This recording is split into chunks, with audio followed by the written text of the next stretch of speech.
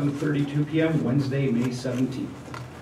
Councilwoman Salvi, Present. Councilman Karakini, Present. Supervisor Keating, Present. Councilwoman Lukacek, Not present.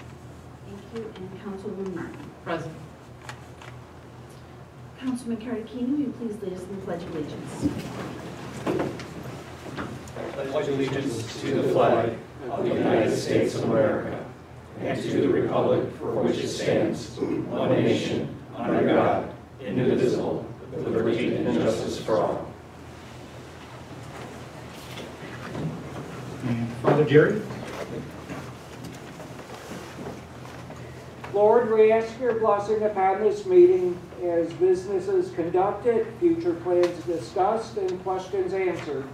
Please lead us to the best solutions for the community. We ask in the name of your Son, Jesus our Lord. Amen. All right, tonight we do not have any other preliminary matters. Uh, We do have a a public hearing tonight. Um, We do have a couple of minutes right before the public hearing, so I I will move on to item number one under regular business, which is a correction and adoption of the minutes from the May 3rd, 2023 board meeting. And Councilman Karakini, would you like to take that item tonight? Thank you Supervisor Keating. I've reviewed the minutes from our last meeting, which was held on May 3rd, 2023. I see no errors or uh, omissions, and I make a motion that we approve them as written. I'll second. Councilman Salvi, Yes. Councilman Karakini, Yes. Supervisor Keating, Yes. Councilman Martin. Abstain. Thank you, and motion carried. All right, it's 7:35 PM according to my clock, uh, so we do have a public hearing tonight. Uh, So we'll move on to item number two uh, tonight, and under our normal business. And the public hearing notice reads as follows. Uh, Please take notice that the Town of Boston Town Board has scheduled a public hearing at 7:35 PM on May 17th, 2023, at Boston Town Hall, 8500 Boston State Road, Boston, New York, to consider the application for a special use permit for a filling station located at 7072 Boston State Road, Town of Boston. At this hearing, at, at that time and place noted above, all person interested either in this matter shall be heard either uh, against said special use permit. Uh, Written comments or objections may be filed with the town clerk until 4 PM on uh, May 17th, 2023. This notice was dated on April 19th, 2023, published on April 28th, 2023, by the order of the town board, Sandra L. Quinlan, town clerk, and we are an equal opportunity pro- uh, provider and employer. And I do believe we have some representatives from Carmina Woods, if you'd like to do a brief presentation, and uh, the floor is open. Sure. Let me face you guys? Yeah, great. Yeah. Can you see this? Actually, why don't- yeah, you face the public. Yeah, if you- if you want to add the stanchions and uh, maybe open up the audience too, you know, I know it's kind of hard for everybody to see here. You got one? Thank you.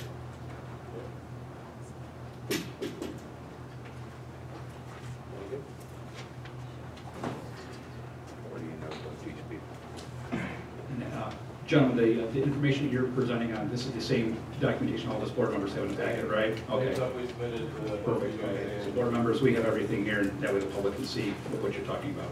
Perfect, thank you. Alright, uh, good evening, I'm Chris Wood with Fermi Wood Design.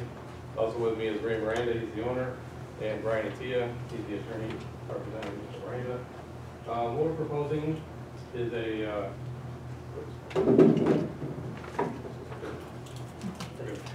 There's new development on the site to the north of the existing Hortons.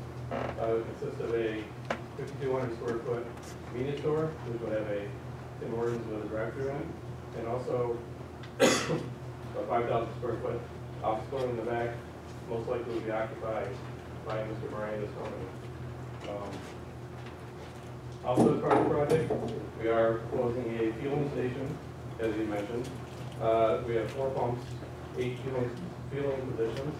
Um, as part of the project, we did have to prepare a traffic study that was reviewed by both the town engineering consultant and the DOT. Um, as a result of that, the stuff shown on the plans, the outside road improvements, were part of the comments and approval by the DOT. That includes a dedicated left turn lane going north of Boston State Road and a dedicated right turn lane in going south on Boston State Road. Sorry. And in both directions, north and south, they would both have a through lane, so none of that traffic would have to wait for rights in or lefts in the new plaza. The new plaza driveway exiting will have a right turn lane out and a left turn lane out, and one lane entering. Um, we did, as part of SEQR, uh, get our SHPO approval for archaeological, we have DOT approval, um, and we did get planning board approval about a month and a half ago. Uh, if you guys have any questions, I can certainly answer them, or we can hear from the public. Sure. Um, I don't think board board members, do you have any questions at this time?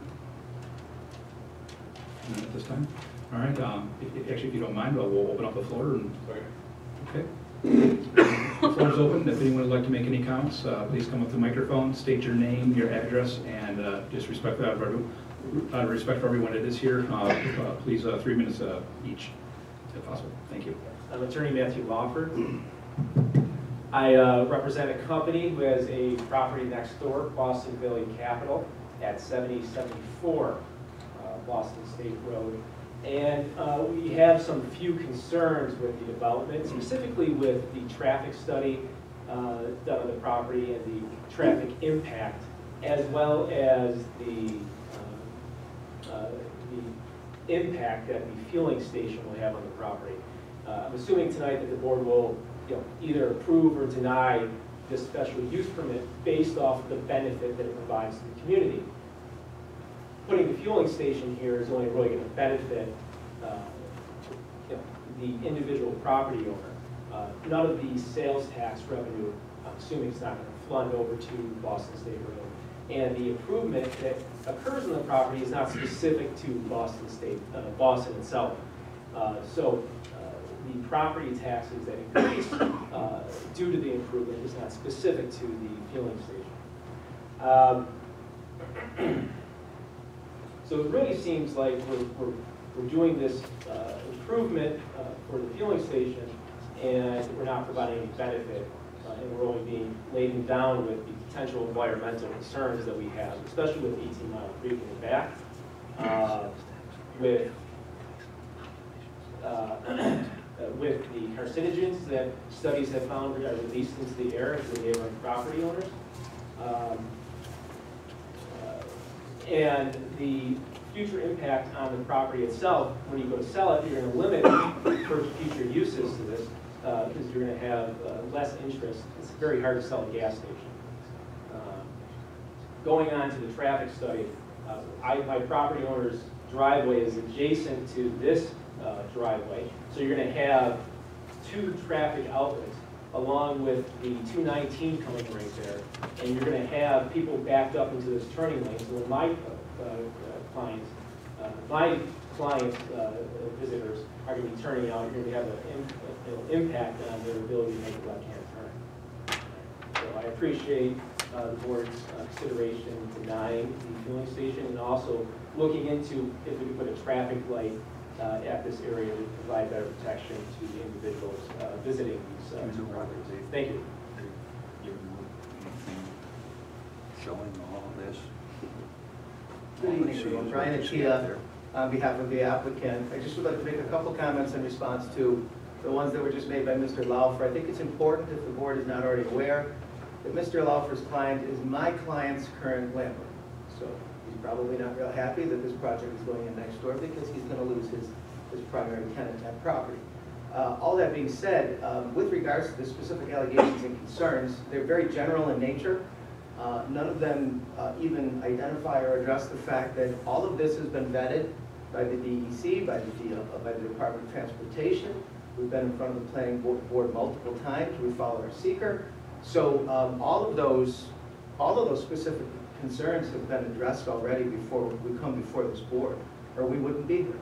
Um, In addition, I'm not sure where he's coming from in terms of a gas station not being able to be sold. If that property were ever decommissioned, the DEC will require that the tanks be removed, that if there was any contaminants, that they be addressed. Um, I know I do a lot of commercial work, and gas stations and convenience stores and Tim Hortons get sold all the time. So I, I'm- I'm, I appreciate his general concerns on behalf of his client. I think the traffic studies, the environmental impact studies that have already been undertaken at considerable expense speak for themselves.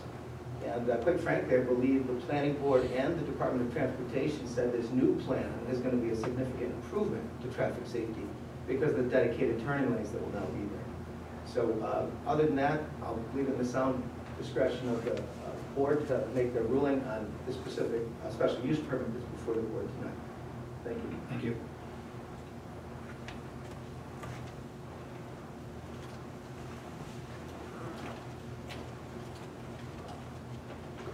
Ardell Rules, 6741 Lever Road. Gentlemen, have you given this to the public? Pictures of this, what all you're going to do? Have you given it to the public, myself, anybody else here? Have you given it to them? What you're going to do? Design or anything? We, we've provided all the public notice required by law, including multiple appearances in a public forum before the town board, the planning board, on multiple occasions. So it's been public knowledge for a long time. Okay, design, have you showed the design to the public? At the planning, the last planning board meeting. That's these people. How many, how, how many, how many people that live up that way, how many businesses up there, have you provided that to them? It's not a legal requirement beyond what, what has already been presented. I agree with you, it's not a legal requirement, but it's public, whether we like it or not too. And me, I'm a fisherman. That thing is gonna be built just upstream or up the hill from a trout stream. I have concerns. I don't like to see me being affected by something that spills from what you're gonna be building up there. And I know that it happens. Because just down the street from where you fo- folks are proposing this, they had a leak in their station here just a week ago. What was that? That's not been published either. Put that information out more so the public can see that, not just right here. Publish it out where we can see it. I request that, please. Thank you, gentlemen. Thank you.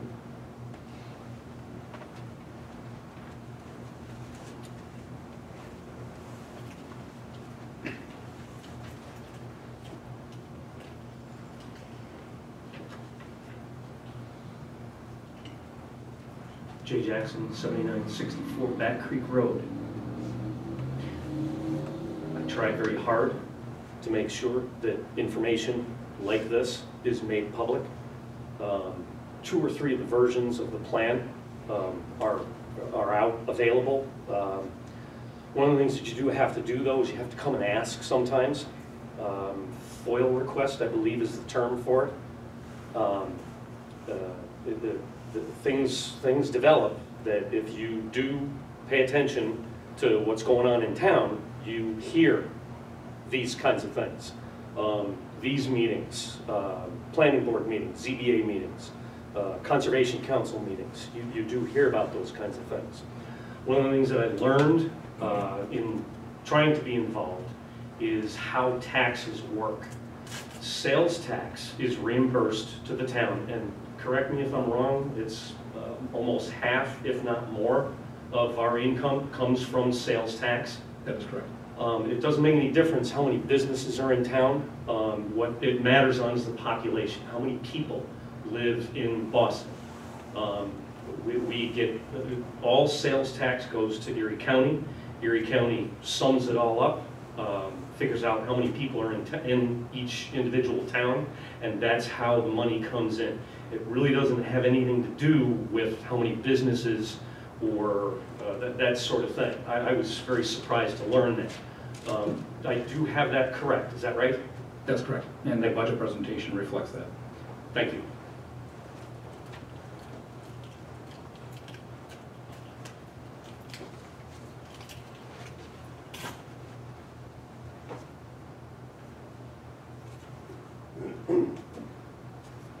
Uh, Ray Miranda, 7072 Boston State Road, I'm the uh, owner of the project. Um, I just wanted to make a couple comments. We've been in, in business here for 15 years in Boston. We enjoy the community, we've had a, a- a good business. Uh, We provide, you know, what I hope is a, a good service to everybody. Um, When we looked at doing something different over there, we just wanted to improve what we're already doing for the last 15 years. Um, I get a lot of feedback from a lot of customers and a lot of residents uh, about traffic and what's going on in our parking lot, what's going on in our building. Um, And if anybody's frequented over there, that is not the ideal setup for um, our, our business right now. Um, Traffic uh, is, our our drive-through is not arranged correctly. Uh, There is a ton of potholes over there right now that we're getting complaints on. Unfortunately, I cannot address those, only the landlord can. Um, So when we look at what we wanted to do, I own, I've owned the property right next door for, for almost 15 years. And we looked at putting this together so we could actually get people in and out in a, in a safer manner, number one. Uh, Also, uh, in a, everybody knows, everybody's in a hurry when they go to, a- go to a Tim Hortons. Um, The, the flow of the traffic coming off of Boston State Road would get off so much quicker. We have a left-hand turning lane. Right now, if people try to turn into our, our parking lot coming from the south, and if they don't pull over far enough, you've got that guardrail, and there's been a couple accidents over there. Um, It's not a, a perfect design. Um, We believe that what we're doing will, you know, generate, this, this is probably going to be three to four million dollars investment on, on our end. Um, I don't, if, if we had a perfect location now, we wouldn't move, uh, because we would not need to move. Why would I move hundred, literally it's hundred feet, and spend three million dollars, uh, to do it? But we think it's the best thing for a couple reasons. Number one, you know, we, we employ a lot of people. Uh, we also, but bigger than the employment of the people is all the vendors that we use, the grass cutters, the, uh, the carpenters, the plumbers, the electricians, the window washers, the garbage guys. All that are, are done locally from local vendors, which again contributes to the economy.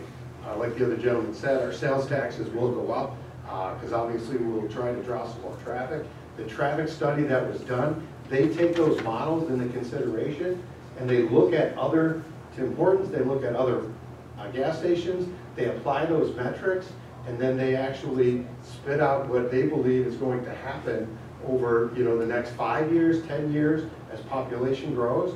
And the Department of, uh, of Transportation said there would be, you know, little, little to no impact at all. Uh, We will spend a significant amount of money getting rid of that lane. I have to pay for all that. Uh, Where you come off the exit, you have to make, you're gonna have to make a right or a left now. Where today, you would get into the acceleration lane and you would, which nobody uses, my office is right there, that's my office, the, uh, the old Pitry House, is where I, where I have my office. Um, Nobody really uses that lane and you're trying to, you're trying to merge over sometimes. This design that the DOT probably made us do two or three revisions. We did everything they wanted and they accepted it. And it's going to be quite significant impact uh, uh, in terms of financially to get that the way, the way it should look. Um, I believe that it's going to be a great entrance uh, to, to Boston. That's our entrance right there. Hamburg turns into Boston.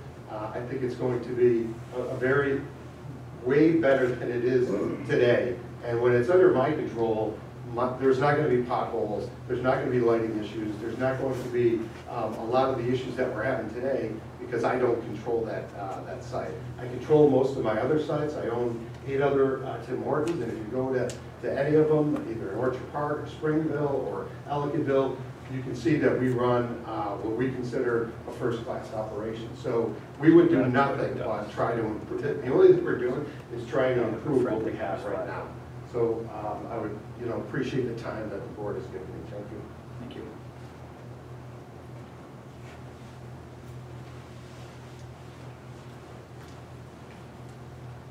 Good evening, Frank Gamble, 5771 Homestead Road. Just curious, I wasn't going to speak tonight, but we've got a drawing here, right, on conceptually what this is going to be. My concern and my thought is, has the town board seen conceptually drawings, what this is going to look like aesthetically from the road? Right? My concern is not around issues around that, it's around, are they going to have a building that's just Tim Hortons with the gas station? Conceptually, what that's going to look like? Drawings right there. Drawings. And They were have- also Have submitted- you all seen those drawings? They were submitted to the town also. This is, Have you shared with that? rest of everybody? this is the south elevation, the north elevation. Um, it's going to be Hardie board siding. Um, it's going to have some stone on the bottom. It, it will not be a typical, we went through the same thing down in, in Ellicottville, uh, where they had certain restrictions on how we could build it, and that's all Hardie board siding there. We have stone on the bottom parts as well, and the pillars, so this is not going to be a typical, uh, it's, it's certainly not going to be a brick building that you would see in a traditional gas station where it's just all brick. Um, Our office, which we put in the back corner, is going to be the same thing, the same Hardie board with um, uh, the bottom uh, brick down at the bottom there. So we're making a substantial investment. It's not, and again, this is, this is the other side. Um, Here's the south elevation, the north elevation. We have signage that conforms to the signage that the town requires. It's not big. It- I would like bigger signage, but there's certain restrictions that the town has, so we have to abide by that. So, And this is just a filling station, I see garages there, is this also a service station? oh my, no, no, no, just a filling station. The garage, that garage is part of my, um, the office building, Okay. for me to park my car. It's- It's just a parking garage, yeah. There's, there, yeah, there's no, there's no repair station, there's nothing. We're looking at putting in two, um, Yeah. electric, um, No, familiar. uh, charger, charging stations, because there's not a lot of charging stations around here for the electric cars as well. Um, So those are pretty expensive these days, but we're, we're looking at getting the high-speed ones. And we have two, we've got a seating area, it's not on this one, where the planning board had asked us to put uh, some picnic benches. We have one picnic bench right now that's sitting over in the corner. They said, can you make a bigger picnic bench area so people could sit around? So we eliminated a couple parking spots, uh, and we put a couple picnic, we put more green That in was gonna be my next question around landscaping, how are we bringing the rural community to Yes. reality there versus what we have today with Landscape, Tim Hortons landscape plan on the other side. and a vacant building next door to it. no use. I'm trying to keep some of those trees, I got uh, black walnut trees over there, I'm trying to keep a couple of This is the them. landscape plan, again, we submitted this to the planning board, and town board also has a copy. But there's significant trees around the whole perimeter of the- of the property. Then we have foundation plantings around both the convenience store and the front of the office building. Um, because this building will be visible on all four sides, and as Ray had shown you, you know, the, the architecture of the building, the C-store, again, this is the front, you would see, is, is broken up because it's the C-store and on the end is the Tim Hortons, right? It's not gonna be one monolithic uniform material or nothing, you know, something with no vertical elements that would break it up so it looks like a big long building. And has a peaked, more residential, rural type of roof as opposed to the flat roof you see in a lot of convenience stores. Board was good with all that, then we got the full disclosure on everything. We did, yes. Just the curiosity. Oh, absolutely. No, Appreciate Hopefully it. that helps too. Thank you.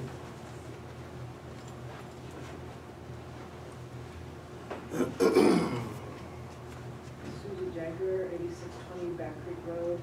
Um, I have more questions than comments, although I want to have comments too. This is the first I've really heard or seen any of this conceptualized here. Is it going to be, the green space that's there right now is, that's right along the creek and the little gazebo there, is that all gonna be, have this building on it right there? The- The creek doesn't come, the creek doesn't go through Raycroft. Okay. I can, I can show you. And where the gazebo is, is probably right Where the C-store is gonna be. about where the C-store is. The gazebo currently is about, is about here, but again, the creek, the creek is Okay. way, way over. All that green space, all that green space looks like it's gonna be parking area?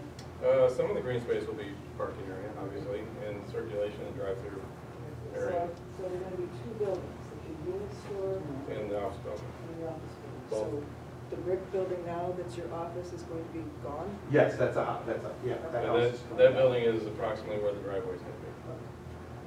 Um, all right, well, my comments are, I don't, this is a little town of Boston, and I know progress happens, but there is a gas station right down the street from there. And when you get off the two nineteen expressway, you see, it's like, it's a very nice little farm town, well, it used to be a farm town, but I don't wanna see a gas station there, and that's just me, but I, I think I'm not the only one. I like having the Tim Hortons there, although I think this bigger one, Tim Hortons convenience store, office building, parking, that's, even though the DOT has done their due diligence, I don't think that's the reality that's going to. So, I, I just think there's gonna be more traffic accidents, more of a cluster going on there, you know, the, the nine fibers going and coming. So that's, I, I don't, I'm not in the, in, um, I don't mind. Thank you. Thank you.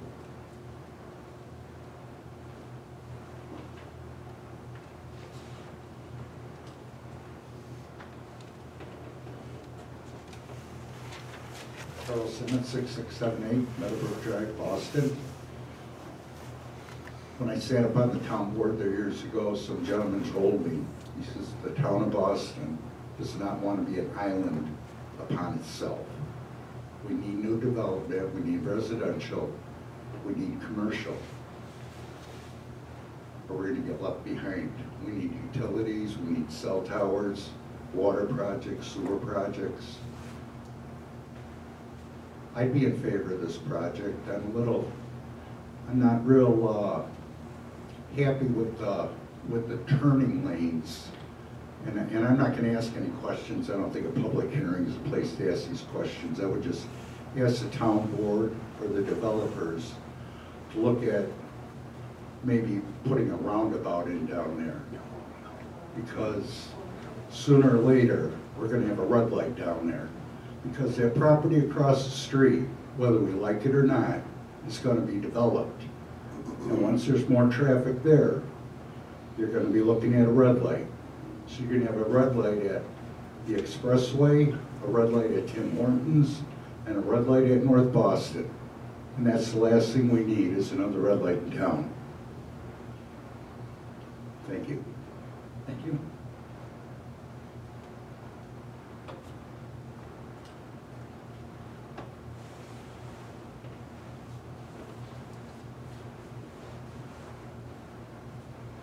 Evening, uh, Mark Jenker is on eighty-six twenty Back Creek Road.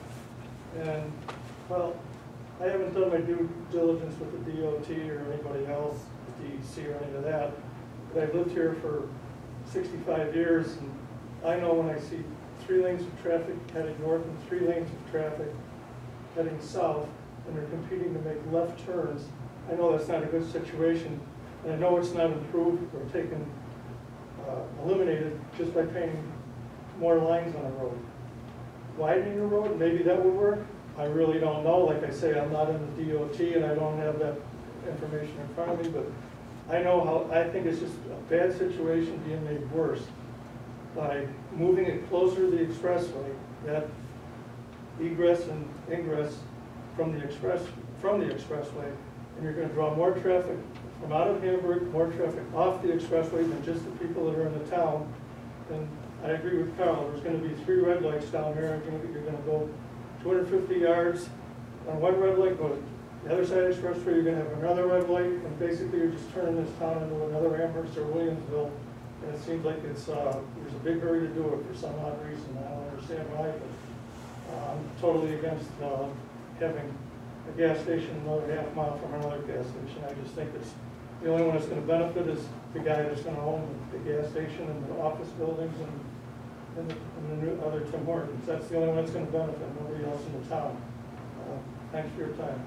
Thank you.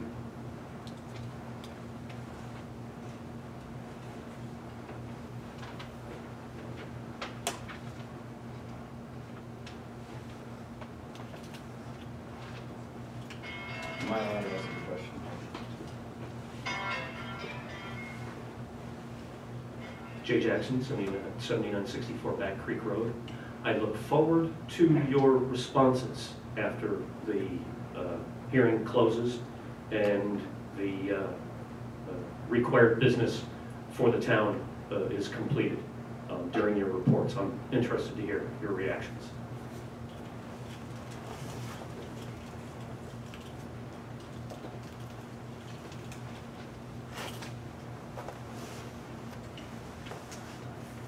Did you think about losing water last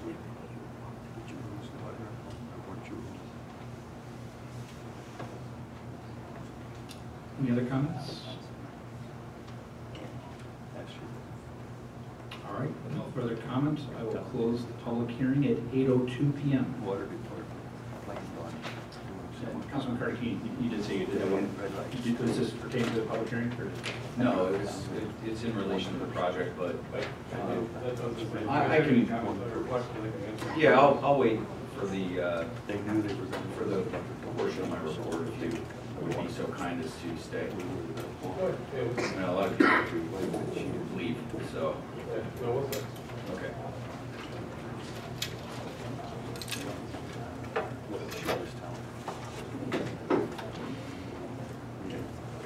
All right. Getting back into regular business for t- tonight, uh, we're going to go back to item number two under our agenda tonight, which is, uh, again, once again, regular business. The second item uh, of the business tonight is the consideration of all fund bills. And Councilwoman Selby, would you like to take that item tonight? Thank you, Mr. Supervisor. After reviewing all the fund bills, I would like to make a motion to make payment of $148,249.16. I'll second. Councilwoman Selby, Yes? Councilman Karakini, Yes. Supervisor Keating, Yes. Councilwoman Martin. Yes. Motion carried. All right, item number three tonight is our correspondence. There are 11 items of correspondence that have all been received and filed with the town clerk's office, and they are as follows. Item number one is the Town of Boston Dog Control Officer Report for April 2023. Item number two is the Town Clerk's Report for April 2023. The third item is a Erie County Water Authority 2022 Annual Water Quality Report. Item number four is a letter from Barbara Persanti, I will pronounce that last name correctly, uh, regarding the opposition to a solar project in town. A proposed solar project, that is. Uh, Item number five is a letter from Erie County for the Department of Public Works, a notice of closure for Back Creek Road. Uh, And and ladies and gentlemen that are here tonight, and anyone watching at home, because these meetings are live streamed, there is a notice that is in the town clerk's office that's out on the town website. Uh, Back Creek Road will be closed in the very near future. Uh, It's for the slide that's down on Back Creek Road. Uh, But uh, Erie County does not, I kind of summarize this, but Erie County does not have the ability to close Patchen Road because that's a town road. So to uh, prevent any cross-traffic, they're uh, clo- closing other than local traffic from Zimmerman Road all the way to Mill. It'll be for local traffic up until the point where that stream bank stabilization and that road has to be taken out to then have the road uh, restored uh, in proper order. Um, And that project's completion date is uh, the tail end of October, at least that's, you know, that's, that's as of today. So as more uh, updates uh, come out, we'll be sure to pass that information along. Uh, That's something I definitely want to draw attention to tonight. Um, Item number six is the Department of Public Works, Erie County Department of Public Works. Uh, Here's the detour and detour sign schedule for Back Creek Road. Item number seven is a comparative year-end on fund balances provided to, uh, from my, uh, my offices to the town board.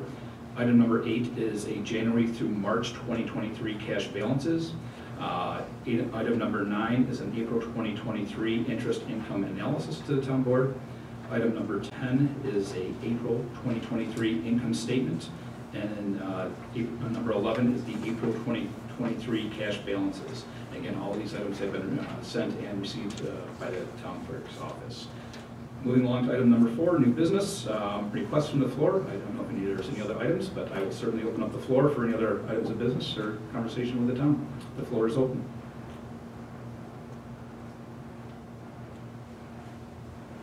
So Jason, on Back Creek Road, what part is gonna be closed again, from Zimmerman to Mill? There, there's, uh, uh, Erie County is shutting down Zimmerman uh, all the way to Mill Street. Just to do the slide down there on your Yes, Road? so the, the theory behind that through Erie County Traffic and Safety Division is that, uh, I don't know, Jason Keating wants to go down Back Creek Road, and I live down there instead of coming down Boston Straight, I, I, uh, Boston State, I may, you know, go down Zimmerman, jump on the Back Creek and come home that way. So what they're trying to do is uh, lessen the amount of traffic flow on Back Creek Road, uh, because they will have, uh, you, what, you've probably seen some of the construction equipment over there where you live. Um, But from, you know, the brush cleaning, the tree clearing, and right now, a, lot of, the- a lot of the on pause because of uh, uh, 18 Mile Creek being a protected waterway. Uh, They can't do stream bank uh, disturbance in that area up until, I think it's, you know, off the top of my head, I believe it's the end of, end of this month, early next month. Uh, Going back to the trout conversation, you know, comment that was made earlier. Uh, So with that being said, um, that they're just trying to mitigate the traffic and essentially, you know, get people in a routine of this detour to try to keep traffic away from that area so they can get their vehicles in and out. So while this traffic is being basically shut down quite a bit, is it, would it be possible that they could do some maintenance that has never been done there in forty or fifty years, like cleaning the dishes so the water doesn't flood the roads? Another good question. Um, So th- I I have brought this up a couple of times in past board meeting um, uh, conversations. The, uh, at least Erie County has com- committed that once this slack has been restored, that they're going to work on uh, Patchen to Mill, and they're going to try to resurface and uh, fix some of the drainage problems there, potentially even try to widen it a little bit based off the county's right-of-way that they have, uh, and then potentially the rest of Back Creek Road. Originally, the the original plan was all Back Creek Road, I mean, here we all sit in 2023, the cost of asphalt, labor, material, getting material, you know, I could run, run the litany of uh, things, but that cost, uh, you know, has gotten substantially higher. So all of Back Creek Road will not be done, but uh, Commissioner Geary respectfully is the one I've had conversations with on this exact matter. And uh, from Patchen down to Mill is going to have allegedly work done on it. I, I don't have anything in writing, but this is the conversation, and- and legislator Mills has been pushing for that as well. So you say have some work done, it could be patched potholes? Mill, uh, it's- supposedly it's going, from what we're told, and legislator Mills did come in, uh, this was going to be a mill, resurface and and widen and try to fix drainage. Okay. Uh, Well, um, it took five years to get that slot. Yeah, Uh, It's it's sad to say I have to give birthday cakes to that project, but This uh, is probably another five years in the making. I hope not. We'll see. But good question. Mr. Janker, I live directly um, behind the work site, and Yeah, they've been there working. Yeah, in Rutgers old house, yeah. Yeah, so there, it was great to see that equipment show up and start to hear noise. So I know it's, it's been bad. I drive that road just to look at the condition, you know. From, from their schedule I was reading on that, if that's correct, what I read online, it says they're not gonna show up until, what, September or October to finish the project back there? That's what the schedule said. That's the, I believe, don't quote me on this, I have it downstairs, if you'd like a copy, I'd be happy to get it to you after the meeting. Um, But that, that I believe is the finished, you know, basically what they call, refer to as comeback work. So after the road has been restored, uh, again, the target completion date is Halloween. So, yeah, that, that road, that area will have, if you will, disturbance up until And the They end just of came and October. knocked a bunch of trees down and didn't, hadn't been back in a month. Uh, And that's because of DEC requirement, uh, DEC regulations, they can't disturb the stream bank or change the translucency of the water, I believe is the correct language, uh, under DEC regulations. So they can't do it now, but they can do it in a month or two from now, is that what you're saying? Yes. Wow. Yeah, uh, Trout are spawning, that's what it is, the Yeah. trout are spawning, that's the reason for it. Okay. Yeah, the DEC, uh, for those of you that don't know, uh, the DEC, uh, actually a resident in town, um, he- he's he's very graciously So, so the fish only spawn in that section of, Uh, well, they can go anywhere. Uh, yeah, there's, yeah, we, we can definitely go down a, a rabbit hole, so to speak, with, uh, with with the conversation of fish, but yes, it's, a- because it's a protected waterway, they, they can't disturb the water. And that's why, if you look at the, if you've seen the construction schedule, obviously always subject to change, if you look at that construction schedule, there is a pretty substantial, I believe it's a month and a half block in yeah, time. No, no construction will be happening over Right. there. That is a true statement, yes. okay. Yep. What about the deer? They only cross at the signs.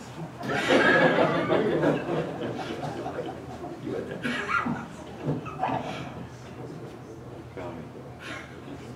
Lovely. All right, with no other comment, I'll close the floor, keep things moving right along. All right, uh, the next item uh, of business, we've already uh, handled item number two, which is just a public hearing for the special use, use permit. Again, that was the open floor session we just had a little while ago. Uh, Item number three is to reschedule a public hearing for a special use permit for an accessory apartment located at 8947 Pearl Street. Councilman Carnegie, would you like to take that item tonight? Thank you Supervisor Keating. Uh, I'd like to make a motion that we reschedule a public hearing for a special use permit accessory apartment at 8947 Pearl Street. It was originally scheduled for June 7th, 2023. It needs to be scheduled for June 21st, 2023 at 7:30 PM. I'll second. Councilwoman Selby? Yes. Councilman Carnegie? Yes. Supervisor Keating? Yes. Councilwoman Martin? Yes. Motion carries. All right, the next item is, item number four tonight, is a request for reappointment from Sharon Stewart to the Conservation Advisory Council. Councilwoman Martin.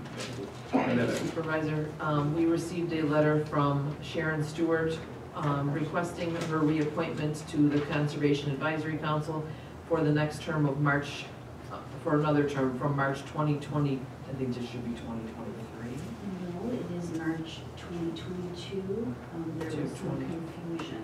Okay. So she did not request reappointment for March of 2022. Okay, so it's from March 2022 to March 2024. I make a motion to accept her reappointment.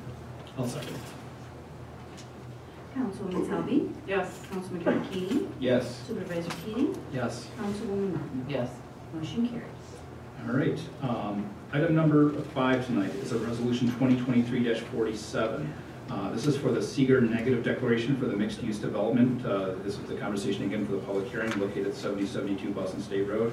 Um, I guess I will open this up to the board at this time. Uh, Do we want to move forward with this, uh, board- board members, or would we like to, uh, I guess, it's my opinion, I'd like to make a motion to entertain uh, tabling this matter, allow allow the applicant to respond to some of these questions to the town board. Everyone's okay with that, or if we would like to approve it tonight? We, we could reply tonight if you want. There's only, I think, a, maybe a handful of items that we could possibly address. If you prefer, it's up to, it's up to you. Right. I, I think it's reasonable to uh, ask for some of the concerns to be addressed in writing and added to the file for the project. Um, That's my opinion on it. Okay. Okay. All right, so with that being said, um, items uh, five, six, and seven tonight, which I will read all three of these. I'd like to make a motion to table these items.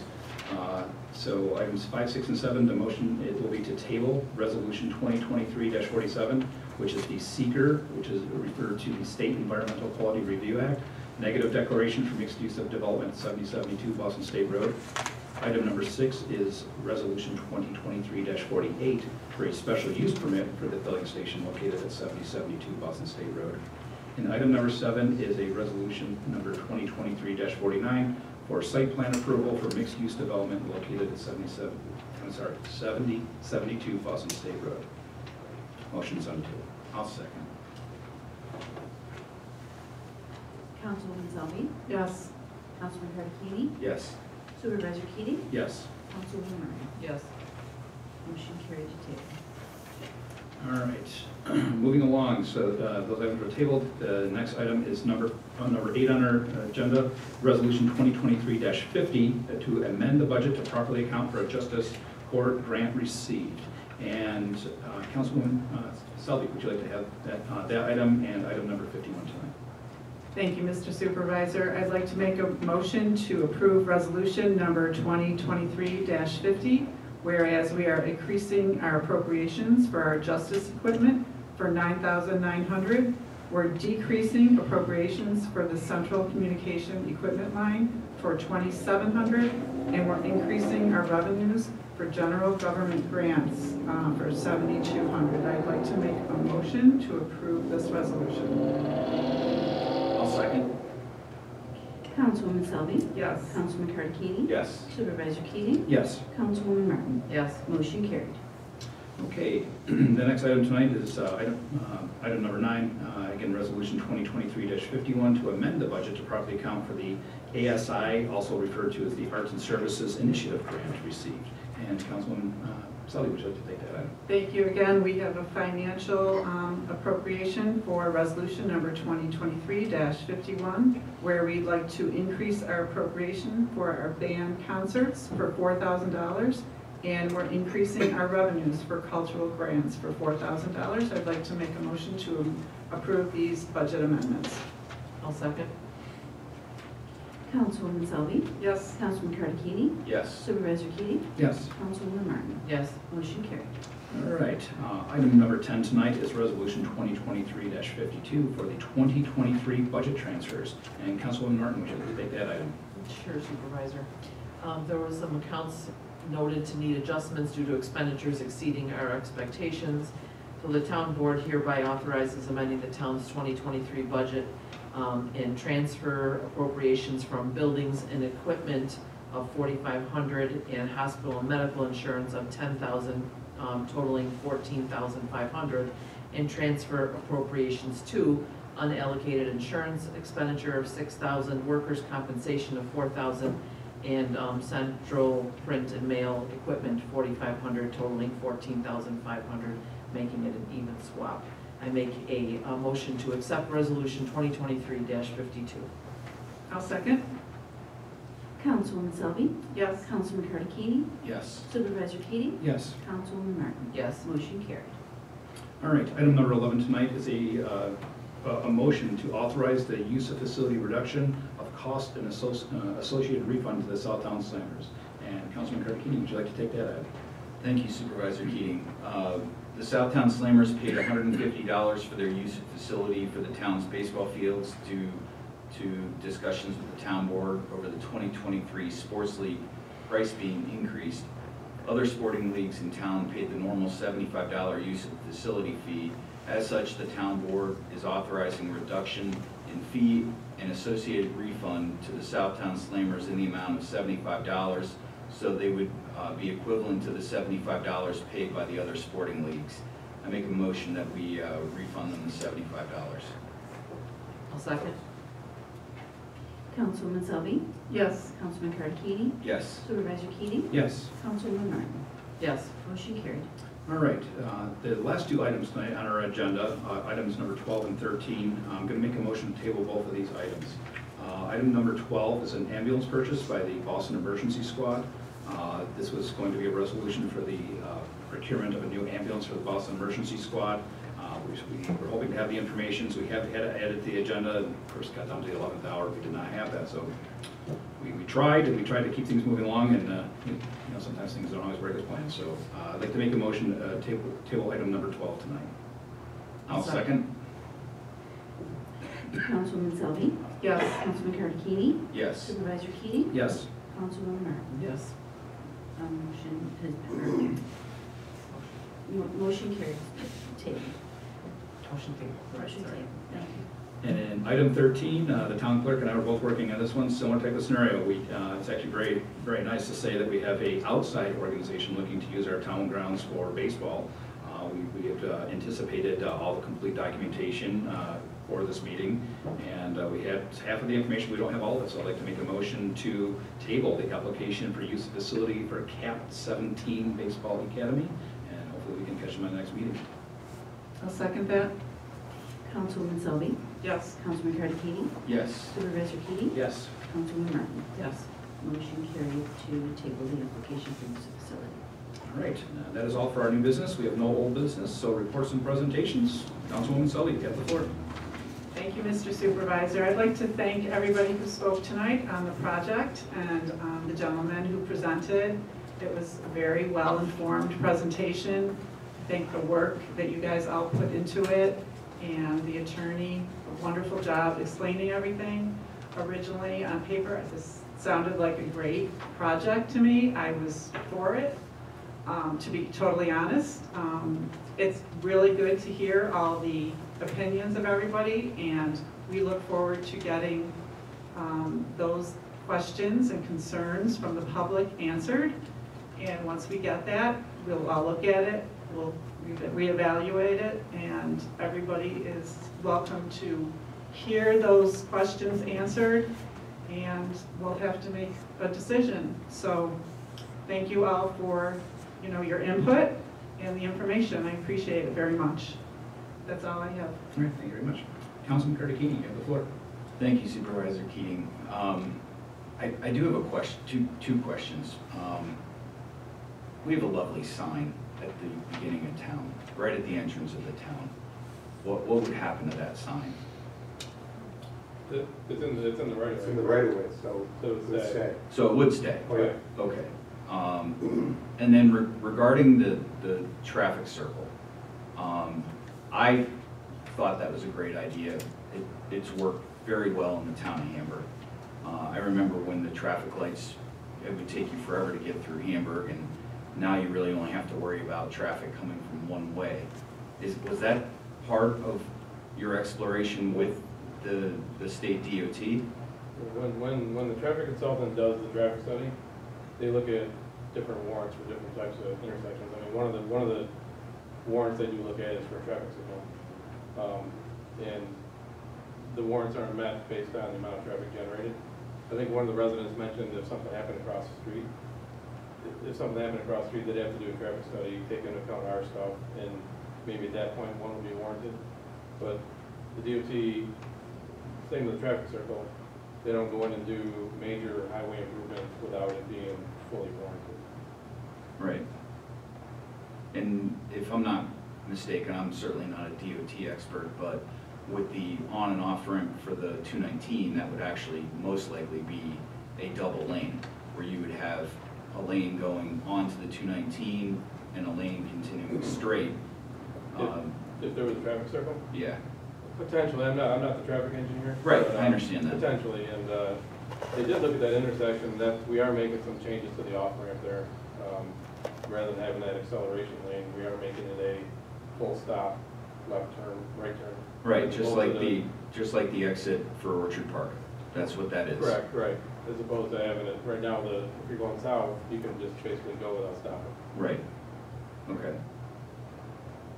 Well, I appreciate that. Um, I think the expectation is, you know, we'd like to see a formal response to the concerns that we heard tonight and for us to consider and, you know, make, make a good decision. Um, I will say publicly, I, I am for the project.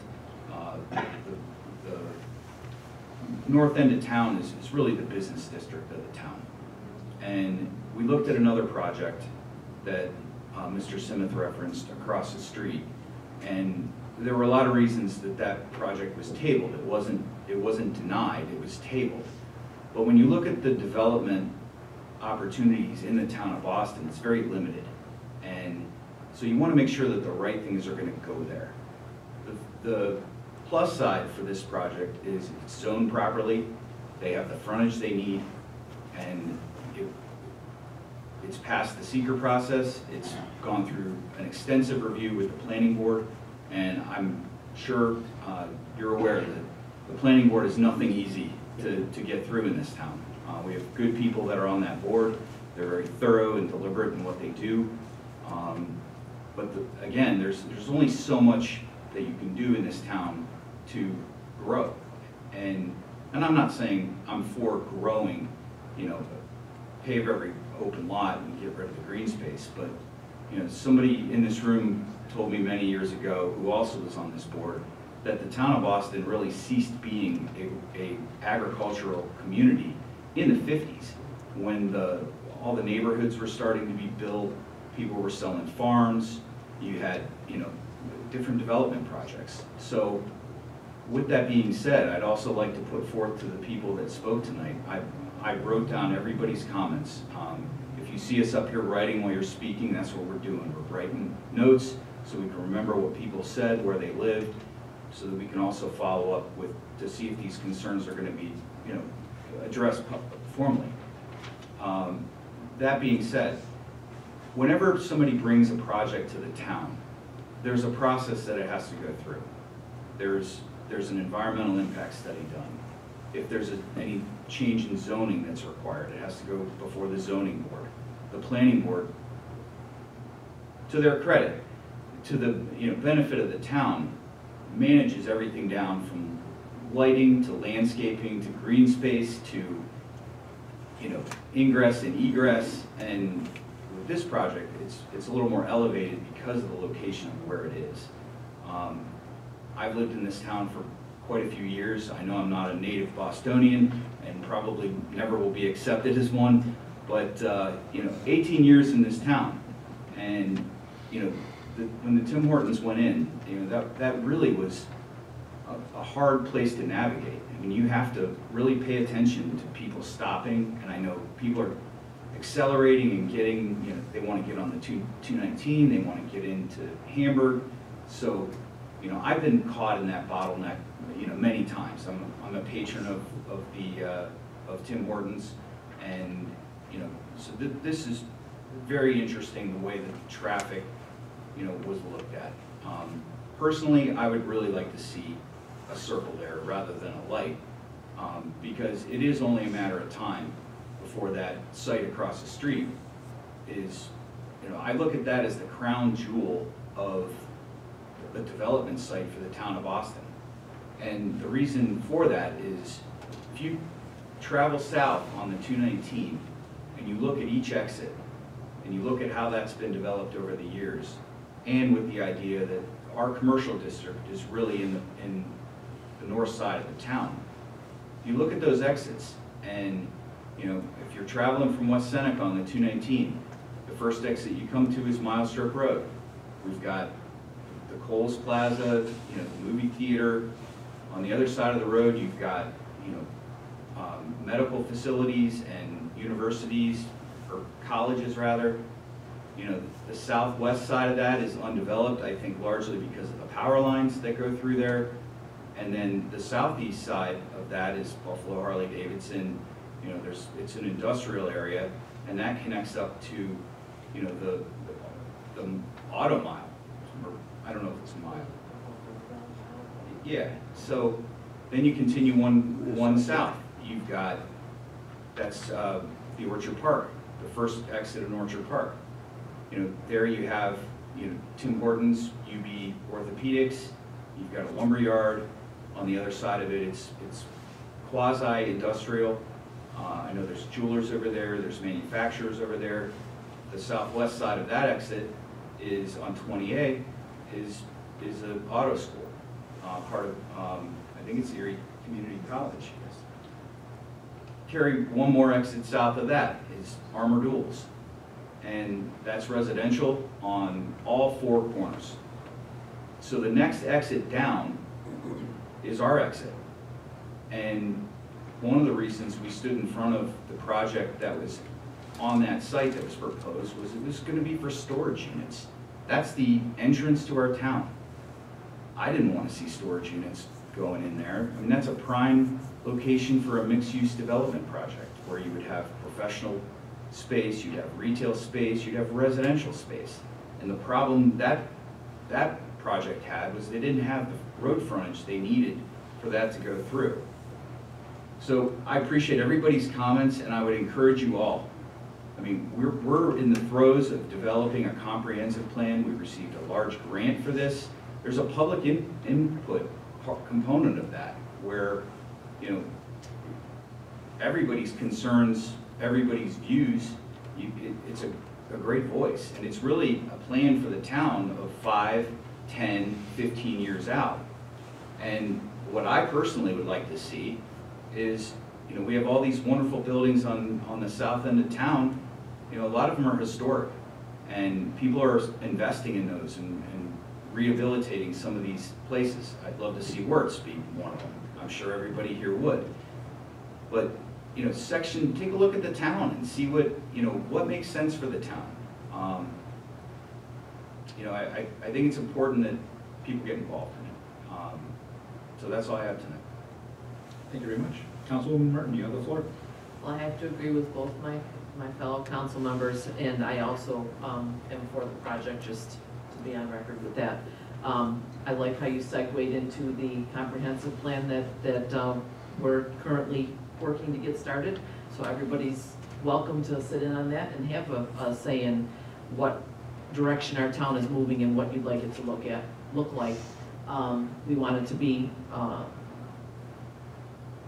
productive, we want it to earn money, stay solvent, and um, create jobs, create green space, be the, the rural feel, but at the same time, be current. So we welcome your, your opinions on that, and I am also looking forward to having our, our couple of questions answered.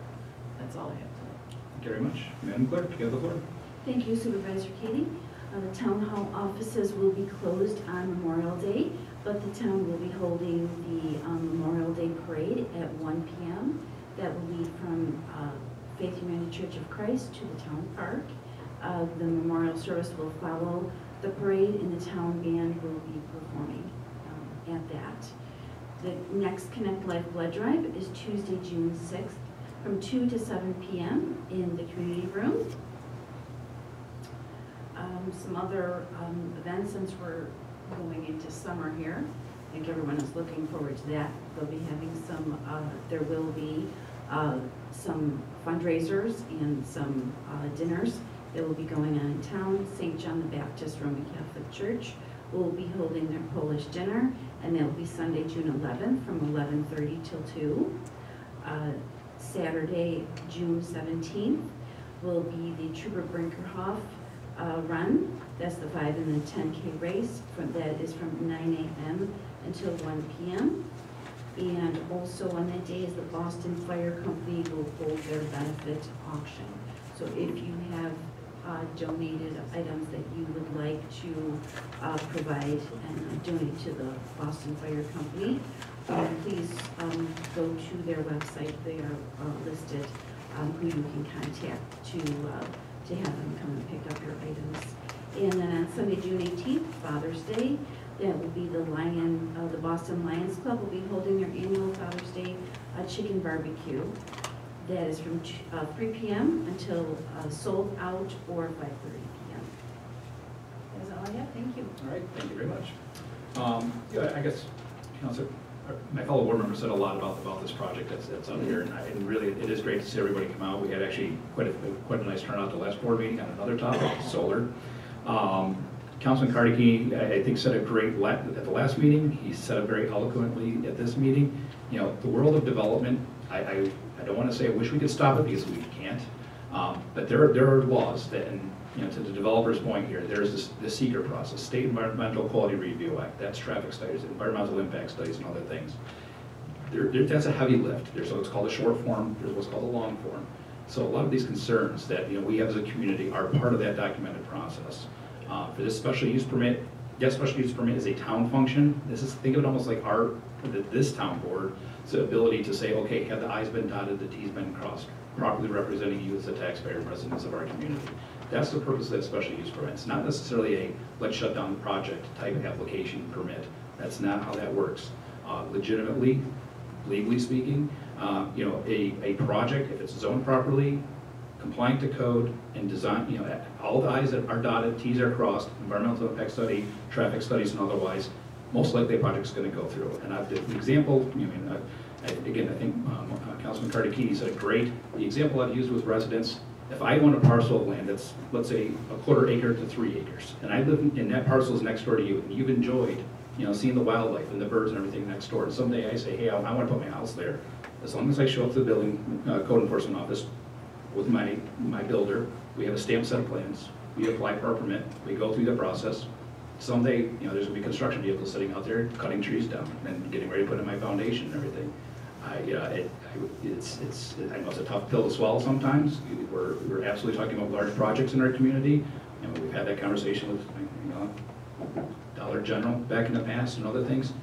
It, it, it, you know, we do take a hard look at that, and I will, again, as Councilman Carter, I I give him a lot of credit here. Uh, get- we, we gave a lot, a real hard look at these projects, and the, the planning board does a lot of that. And that's the part that I guess I want to clarify, is that there's a planning board and then there's the town board. The planning board does a lot of this, if you will, kind of heavy lift. This application, the process, that all goes to the planning board before it even comes to the town board. We are two separate boards. They've gone through state training. They're the ones that look at the, to- again, the lighting, traffic studies. They, they assess all that. They provide that as an advisory board to the town board. They provide that information to us to make an informed decision based off of our applicants in our community. So there is a process. There are checks and balances. It's not just an arbitrary, yes, this looks good here, let's put a rubber stamp on it and push it through. There's a paper process and there's a paper trail that, that ties all of this out. So that being said, you have the traffic study. Uh, For those of you that follow the board meeting minutes and all, here's a perfect example of traffic when, uh, you get to the developer's uh, point with the traffic circle. I personally like them as well. I, I've always been a big fan of them. I think many of us up here are. Um, What I can tell you is that, uh, perfect example is Taylor and Eckerd. We have asked multiple times for a four-way stop up there. We have sent letters, we've, we've done our due diligence, we have sent the information to the county, to New York State, again, based off of a traffic study, New York State DOT law, which is uh, the MUTCD, Manual Uniform Traffic Code. Um, They come back and say, based off of traffic count, based off of that area, it does not warrant a four-way stop. I would love to have a four, four-way stop there. I would. I, I look at all of you dead in the eye tonight and tell you, these are the things that we tried to do. There's a section of law, whether we like it or not, that comes in and says, sorry, you don't hit the mark. And a perfect, I did not live in town at this point in time. I'm not the lifelong resident here in town, but I can tell you the flashing light down by Star Service. That's kind of that classic example. The community, to my knowledge, has, had asked for some kind of a traffic calming device down in that area. And sadly, it wasn't until there was a pretty tragic motor vehicle accident down in that area that that flashing light go in. That's a fact. That's on the books. That's there. So, you know, it, it, are these things perfect? They're not. I, I won't, I won't belabor or try to hide from that. But we do try to do our best for all of you in this room. And it is nice to see all of you come out. Please take, you know, follow the town website. This meeting, like all meetings, uh, thanks to some uh, grant money, they're all live streamed. If you want to know what's going on at town board meeting, they're live streamed. And then when the town clerk hits stop, it gets bundled out, pushed out to our website, nice little YouTube file, and you can go watch it, you know, later on at night if you want to. But that's good, open, transparent government. You know, we've always believed on not, you know, we don't want to hide anything. We want to be open and transparent with all of you. Uh, So with that being said, that, that's, I guess, all I'll say. Um, I do think it's a decent project, I really do. I think uh, you've done a nice job. I I respectfully, I think the planning uh, board uh, has done a great job as well. Um, But, uh, we'll, we'll get those questions answered, we'll get them back out to the public. Pardon me just one second. Um, The comp plan, uh, again, that was brought up, please get involved. We were, all of you here tonight, this is exactly what this town board, the planning board, really the Conservation Advisory Council, they're an advisory council to the town board as well for the environmental impact side of things. This comprehensive plan is every taxpayer in the town of Boston's ability to come in and say, hey, this is what we want in our community. Again, can we exactly stipulate what, what happens in a particular, not, not exactly. It's based on the way it's zoned, it's based on way, you know, again, there's other components that go into this. But can we look at the hamlets of Boston, Patchin, North Boston, and then design a comprehensive plan that fits what we're looking for as a totality in, in the community? That's the idea of this. We did, we were able to secure two grants, one county, one state. Doesn't, you know, this does not hit and affect you as taxpayers. You know, we, we worked hard to get those grants. Uh, so again, please get engaged. It's roughly about a year, year and a half long process, but we are looking for feedback. And part of this is, you know, when we're talking about building out and creating jobs and, and wait, reasons for people to stay here, we're gonna be reaching out to the 18 and under age uh, and saying, hey, do you plan on staying in the town of Boston? I mean, this is somebody's children. And if the answer is no, why? Why, why do you want to leave Boston? Are there not enough jobs here? What, why, you know, are you looking to go, I- most are probably looking to go to college, fair, fair being fair. But if somebody's not looking to go to college, what's taking you away? Why are you going across the line over to Hamburg? Again, not a perfect solution. I know there's a lot of, you know, pros and cons in this conversation that I'm having. But these are the things in the feedback that we're looking for that comprehensive plan. The comprehensive plan does exist, everybody wants to see it, it's over 20 years old. Uh, But that's, uh, again, we're looking, as a town board, we're looking for your feedback. So please engage, please follow up with us. Uh, A letter was sent out uh, just last week to all the local businesses in the community. Everybody should have received them. I've received a couple of uh, responses already, which is fantastic. So certainly stay tuned on that. Um, and then, you know, the other thing I just wanted to comment on, you know, with the, uh, the, the accidents in front of the Tim Hortons, uh, again, here's, it's, I wanted to bring this up as another example, is that unfortunately, the accidents in front, many of the accidents in front of Tim Hortons, when I looked at the, uh, some of the studies and all, and then also followed up with Hamburg Dispatch, some of these accidents are people, are because motor vehicle operators, how about that? I'll phrase it this way, motor vehicle operators are riding the shoulder of the road. No traffic calming device in the world is going to stop potentially a motor vehicle accident. You could have a stoplight, you could have a traffic circle, you could have anything. If, a person makes a conscious decision to deviate off the side of the road, go around and gets, and then gets a T-bone, which a lot of those accidents are, a traffic calming device is not a perfect solution to that. I, I don't have a good answer for that. I'm not, I'm not an expert, nor do I ever claim to be. But, you know, again, these are some of the things, again, this is the kind of hard look and the conversations that are happening behind the scenes. We really are looking at this, we appreciate the feedback, we'll work with the developer to, uh, you know, get some of the answers here, and, uh, you know, we'll, we'll go from there. Um, And the last thing I have for tonight is that the June seventh meeting uh, has been canceled. Um, So we will not have another uh, town board meeting until, excuse me, until June twenty-first, uh, same time, seven thirty PM on June twenty-first. Um, But that is all I have for tonight. I would uh, make a motion to end the meeting at eight forty-one PM. I'll second. Councilman Selby? Yes. Councilman Cartini? Yes. Supervisor Keating? Yes. Councilwoman Martin? Yes. Motion carried, meeting adjourned.